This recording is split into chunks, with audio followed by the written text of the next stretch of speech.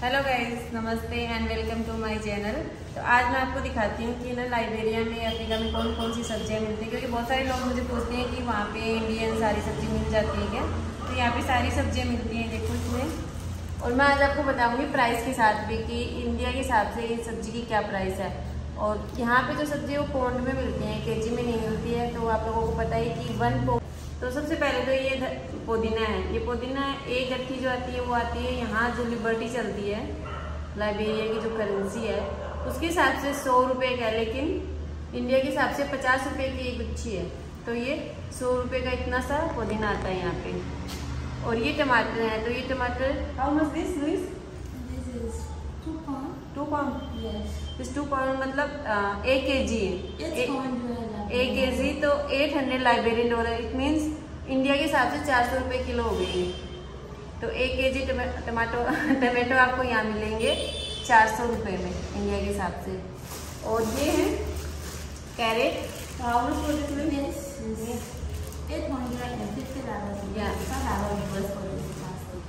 Okay so इस ना almost nine hundred तो ये साढ़े चार सौ रुपये की गाजर इंडिया के हिसाब से और ये एक किलो है। और फिर ये है अपने खीरे कुकुम्बर तो ये है टू पॉइंट मतलब एक के जी है how much for this this is eight hundred ये ऑल्सो तो ये भी ऑल्सो मतलब चार सौ रुपये किलो खीरे हो गए चार सौ रुपये किलो टमाटर हो गए और ये हो गई साढ़े चार सौ रुपये किलो हो गई गाजर। और ये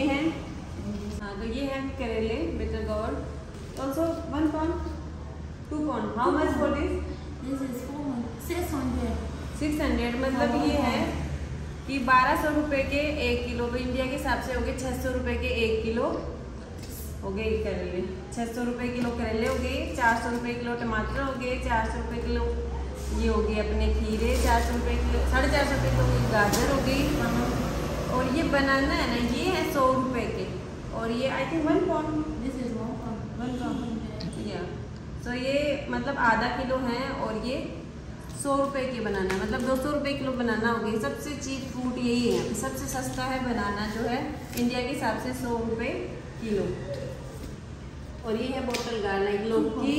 ये टू पॉइंट है। How much for one point eight hundred four hundred so this is two point eight hundred so ये हो गए चार सौ रुपये किलो लोगी मतलब सारी सब्ज़ियाँ हैं ऑलमोस्ट चार सौ रुपये किलो मिलती है यहाँ पे।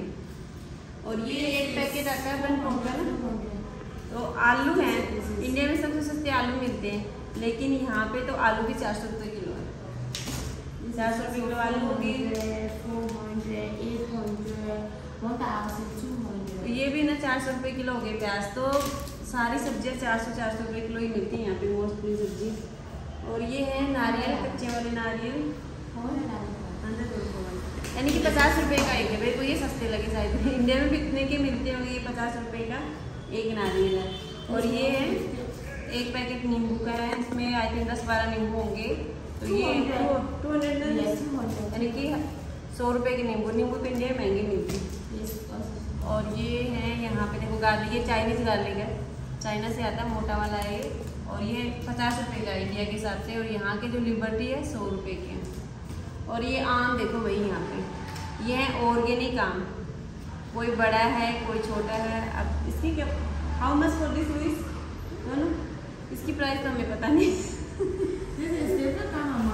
so, मेरे कहने का मतलब है कि यहाँ पे ना ginger ginger capsicum I think one pound and chilli half pound यहाँ पे जिंजर और ये भी यहाँ पे पाँच सौ रुपये किलो मिलती है। ये पाँच सौ रुपये किलो मिलती है और कैप्सिकम भी चार सौ रुपये किलो मिलती है। ये आधा किलो है तो दो सौ रुपये की ये आधा किलो है, दो सौ रुपये की और ये सेम यही है, ये भी हाफ़ पाउंड है मतलब आधा किलो भी नहीं है। यहाँ थ्री हंड्रेड मतलब डेढ़ सौ रुपये की मिर्ची है, थोड़ी सी मिर्ची है और ये आधा पाव मिर्ची है, डेढ़ सौ रुपये की है। और ये आधा किलो है, चार सौ रुपये की है। और धनिया जाया नहीं तो हमारे इंडिया में तो धनिया साथ फ्री दे देते हैं धनिया और मिर्ची यहाँ पे तो धनिया की भी जैसे पुदीना की ना इससे भी छोटी वो आती है, पचास रुपये की एक आती है। तो ये सब्ज़ियाँ हैं और हम लाए नहीं सब्ज़ियाँ, सारी मिलती है, जैसे कद्दू भी मिलता है यहाँ पे, और भी जो सब्ज़ियाँ जो इंडिया में मिलती है, वो सारी मिलती है। हम तो आज यही लेके आए हैं। तो थैंक यू गाइस